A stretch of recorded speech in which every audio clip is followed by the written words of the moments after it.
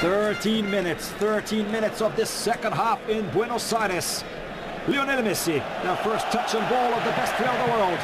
Messi to Di Maria. Di Maria gets it back to Lionel Messi. Messi to Pablo Zabaleta, the crosser of Zabaleta. And almost the own goal of Luis Pereira saved by David Ospina.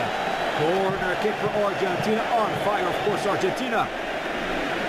And the substitution of Lionel Messi. Crowd on fire. Lionel Messi on the pitch. Four times Ballon d'Or winner. Oh, the pitch.